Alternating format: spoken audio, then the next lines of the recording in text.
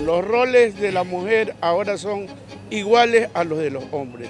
Hace muchos años ellas han venido ganando conquistas y yo particularmente considero que eso está muy bien, porque en todos los puestos, en todos los cargos que han tenido la oportunidad de ejercer han demostrado que tienen la misma capacidad que el hombre, el mismo entusiasmo y lo hacen con mucha responsabilidad los trabajos que a ellas se les encarga de una u otra manera hemos sufrido algún tipo de violencia, sea física, sea psicológica, sea sexual. Entonces nosotros no debemos permitir ese tipo de atentados en contra de nuestra persona. Nosotros debemos hacer valer nuestros derechos y a todas esas mujeres no callar si ustedes, ustedes sienten que se sienten en peligro, denunciar y simplemente alejarse de esa persona que no les hace, que no les hace bien y que les hace daño.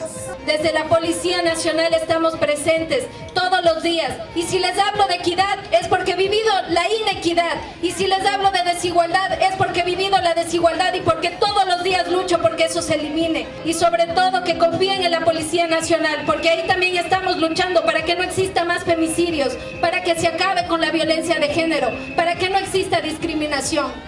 Celebremos, conmemoremos el 8 de marzo como un día más de lucha por mantenernos en pie por nuestros derechos. Gracias, compañeras. Ministerio del Interior.